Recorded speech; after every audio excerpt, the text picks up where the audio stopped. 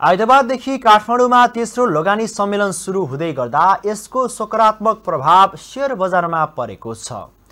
साताको पहिलो कारोबार दिन समेत रहेको लगानी सम्मेलनको पहिलो दिन नेप्से सूचक चौध दशमलव तिन तिन अङ्कले बढ्दै उन्नाइस सय असी दशमलव दुई सात अङ्कमा उक्लिएको हो।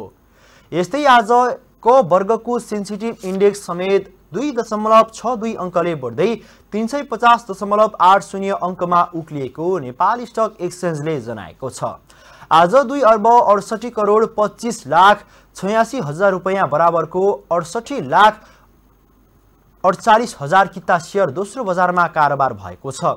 ट्रेडिङ समूहको उपसूचक बाहेक आज बाह्रवटा उपसूचक धनात्मक भएका छन्।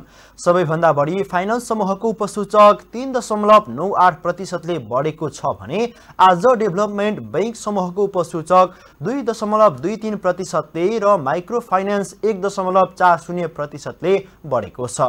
यसै गरी नन लाइफ इन्सुरेन्सको उपसूचक आज एक दशमलव शून्य छ प्रतिशतले बढ्दा अरू समूहको उपसूचक एक प्रतिशत कमले बढेका छन्।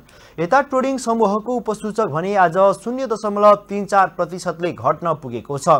आज पोखरा फाइनेन्स कम्पनीको सेयर मूल्य नौ दशमलव शून्य दुई प्रतिशतले बढेको छ भने रिभर्स फल्स पावर लिमिटेडको मूल्य चार दशमलव छ तिन प्रतिशतले घट्न पुगेको छ।